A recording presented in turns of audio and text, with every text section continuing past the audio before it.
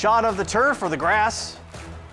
Used to turf in a lot of these places, Fort Loramie and St. Henry. St. Henry ball, Harrison Wendell, the ball carrier for the three-yard touchdown. The two-point conversion is good, and we've got a tie game at 14.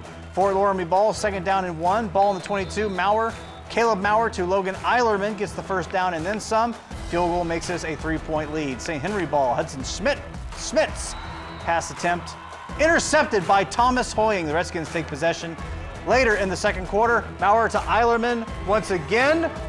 Gets down to the 18 before he's brought down by Schmitz and Kellen Hoying. First down for Loramie. Then Maurer to Eilerman and put it up and right there getting it in. Touchdown, Fort Loramie. Close to the beginning, but Fort Loramie extends and eventually wins 43 to 20. They get the win over St. Henry.